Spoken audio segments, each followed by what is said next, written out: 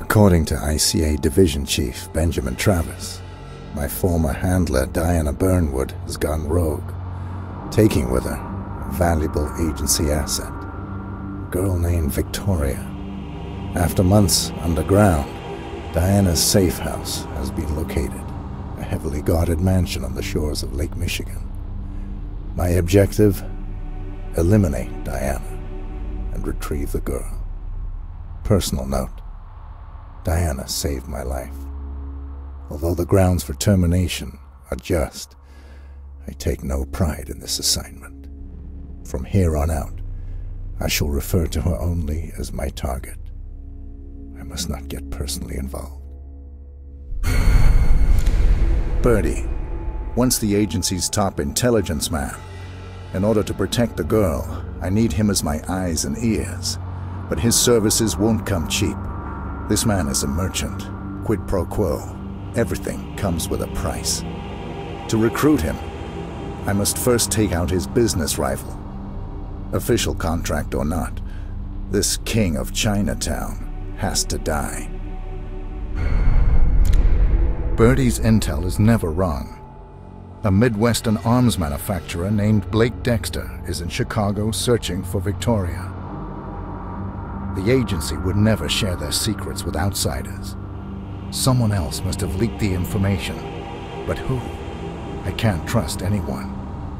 All I know is that the girl is innocent. She doesn't deserve this.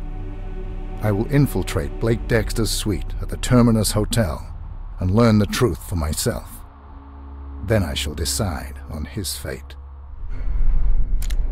I underestimated the arms dealer, and now I'm paying the price. I must get out, reach street level, keep a low profile, escape in the crowd. The police are closing in. Time to regain focus. According to Birdie, strip club owner Dom Osmond is Blake Dexter's informant. He put the arms dealer on Victoria's trail. I will remove him from the equation before he causes any more damage. Personal note. Birdie did not give me this information out of the goodness of his heart. He has much to gain by Osmond's death. This is a fragile alliance. I have to tread carefully. Birdie has sold out Victoria to save his own life. Part of me understands. This was never his fight. I shall deal with him later. For now, all that matters is the girl. I must get to her before Wade and take her somewhere safe. Nobody will stand in my way. The matchbox in Wade's pocket has led me to the Great Balls of Fire, a rowdy roadside bar on the outskirts of Hope, South Dakota. If I find Lenny, I find Victoria. I made a promise to the girl and to a dying friend. So far, I have let them both down. I will make this right. Lenny, Dexter, Travis, they are all going to pay. Birdie, he took my silver ball as his payment for his services. Now he's giving them back. For some reason, he's reaching out. Can I trust him? Or has his allegiance shifted towards more lucrative business partners? No matter. Before I go after Lenny, I will reclaim my weapons. I have been adrift for too long. Lenny Dexter, outcast, black sheep. He took the girl to earn his father's admiration. Of all my enemies, he is the weakest link. Making him talk will not be a problem. But first I need to deal with his cougars. If I grab Lenny, they will surely try to interfere. Besides, they already know too much. Lenny has disclosed Victoria's position. I should deal with him once and for all. Yet there is little honor in preying on the weak. Whatever his fate should be, I need to decide now. The clock is ticking. Dexter Industries. They probably employ half of Hope. This town was bought and paid for, and Blake Dexter was only too happy to write the check. Somewhere inside this factory, Victoria is being kept against her will. I need to move fast. I am getting closer.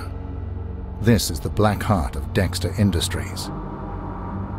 Part of me dreads what I might find down here. Human experiments. Children as weapons. All the more reason to pull the plug. I will find Victoria and destroy all data that Dexter's researchers might have uncovered. This ends here. Sanchez, another victim of Dr. Ashford. Dexter ordered him to remove Victoria from the factory just as I was getting close. Right now, he is the best chance of finding her. I underestimated the Mexican once.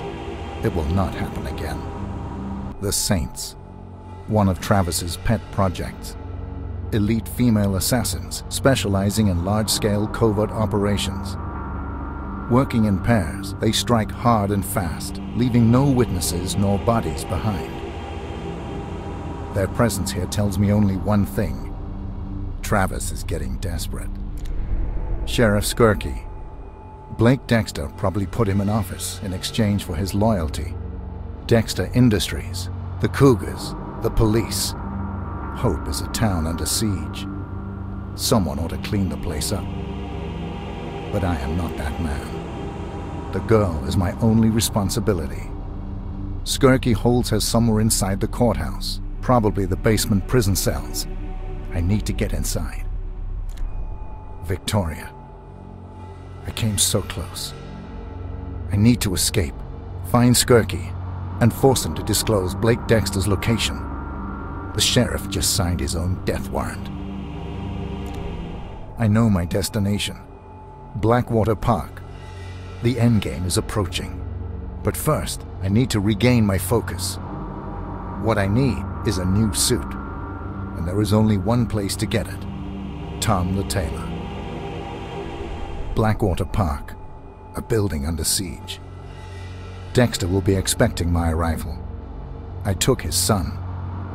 If he is mad enough to take on the agency, would he also sacrifice Victoria to get back at me? I need to be careful. But one way or the other, this is where it ends. Blake Dexter. He will destroy the building and sacrifice his own men in a heartbeat before giving up Victoria. The only thing keeping him from leaving is Layla. I have to take him down before he realizes she will not be coming back. Diana. I have kept my promise. Victoria is safe. Her future is now her own.